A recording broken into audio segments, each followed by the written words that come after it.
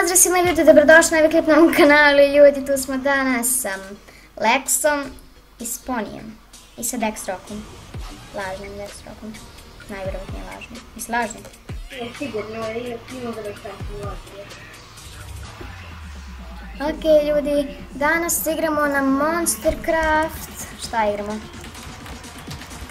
Šta igramo? Ponija! Rekli. Arena PvP. Tako da, ajde da krenemo na video. Ok, evo nas nazad, ok. Ajde,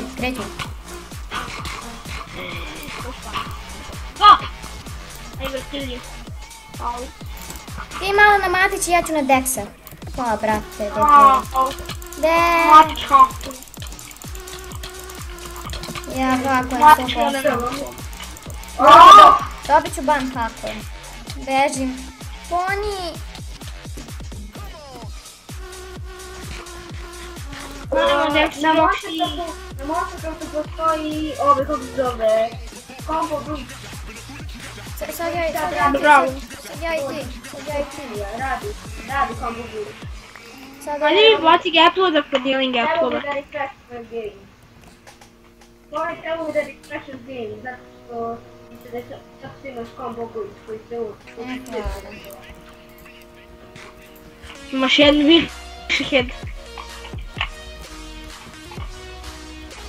Ajmo. Tri. Moram li ovo? E.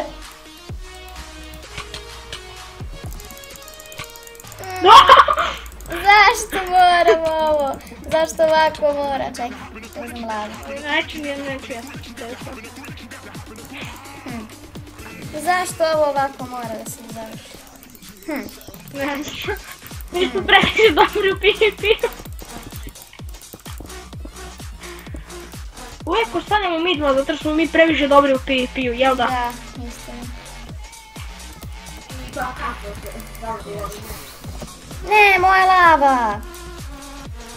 Moja voda! Čekaj, crko si. Koliko imaš helte?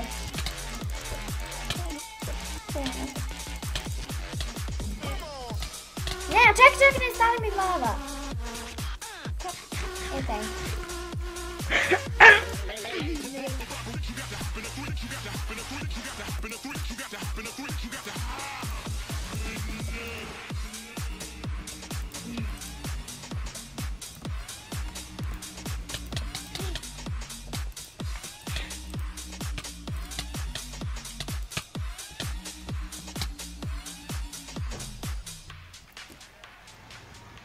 Ne, nemoj vodu.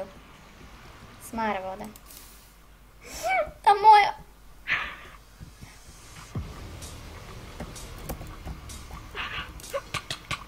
Ne! A da, ja odi mi lava zbog tebe, sve moje lave odoše. E, thank you. Ne! Tu ti mu e. zatvorim, ne dam ja više. Ti pa početi da me kila! Da! Da, da, da, da, da, da, da, da. Izgubit ću svoj ilo, ne boj. Ovo je ovo oranče. Ovo je Izgubit ću svoj... Izgubit ću svoj ovoga... em, Ovo nema verziju. Opa, crkla sam. Kako Ok ljudi, ova epizoda je bila malo kratka. To bi bilo to što se tiče ove epizode. Nadam se da se svidjela ovako kratka. Ako jeste, ostavite like, subscribe i share. A mi se vidimo u sljedećoj epizodi. Pozdrav, pozdrav, ćao, ćao, like za Dexa i za Ponija. Da, Poni, Poni, Poni, stani. Jak się buba. Okej, poza...